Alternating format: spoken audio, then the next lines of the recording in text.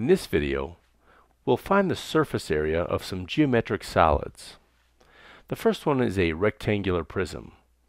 And to find the surface area for any prism, you'll just add up all of the areas of all of the faces. So let's look at this. This is a rectangular prism and we've got the front face times 2 because we have the front and the back. And we have a side face times 2 because we have the left and right side. And we have a top face times 2 because we have a top and a bottom. Okay, so let's walk through the area of this. Let's say that this has some dimensions of 5 inches along its base here and and then this distance let's say is 7 inches and then let's say the height of it is 4 inches. I know it looks like a square here but let's let's just say it's not a perfect square.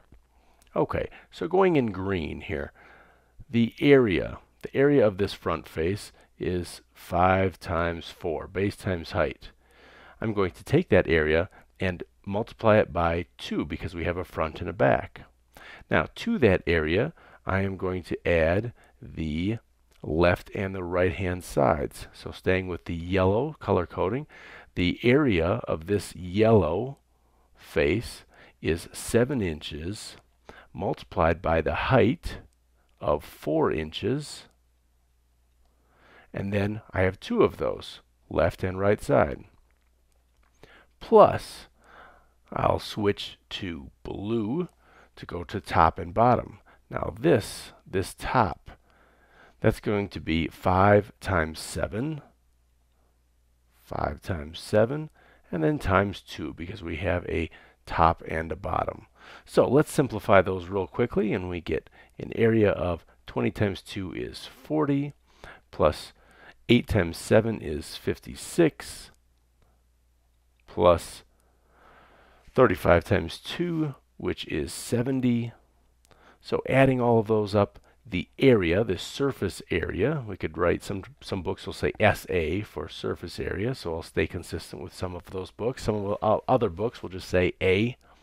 But our surface area then is 40 plus 70 is 110 plus 56 is 166. And the correct label is square inches or square meters or feet or whatever your your units are, but it's squared because it's area.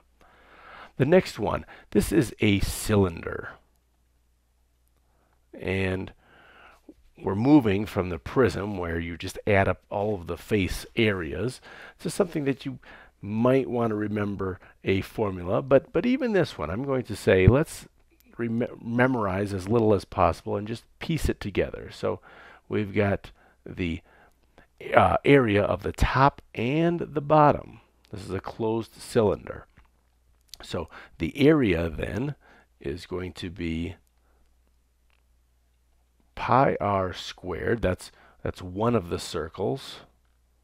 And then times 2 because we have we have the uh, top and the bottom. So times 2.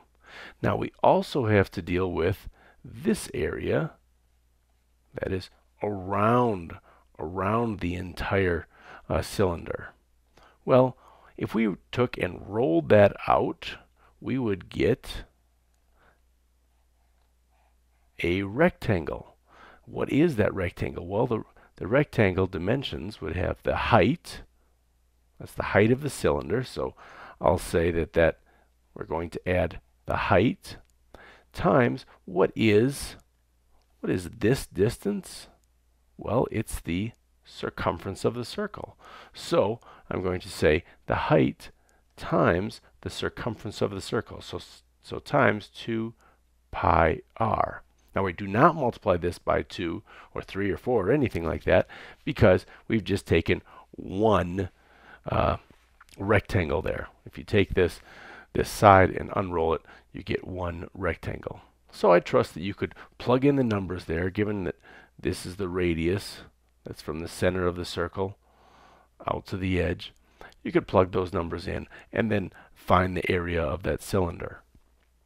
Last, the sphere. Okay, okay, with the sphere, you want to memorize a formula.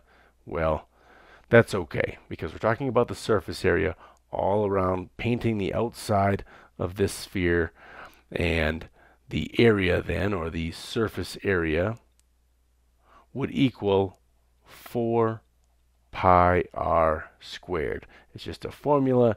There's, there's not a way to piece it together like there is with the prisms or with the cylinders, uh, but, but that, that is the, the formula that you would use. And of course, pi in both of these, the cylinder and the, the sphere, pi is approximated as 3.14, or uh, you could approximate it with 3.14159 if you want to carry out the digits farther. But regardless, these are the formulas then for um, the sphere and the cylinder, and then of course the prism.